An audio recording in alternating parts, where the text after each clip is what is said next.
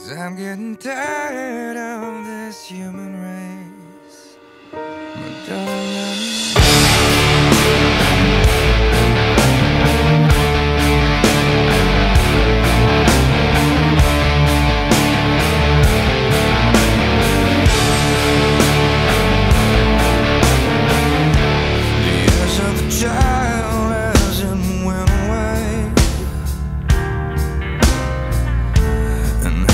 here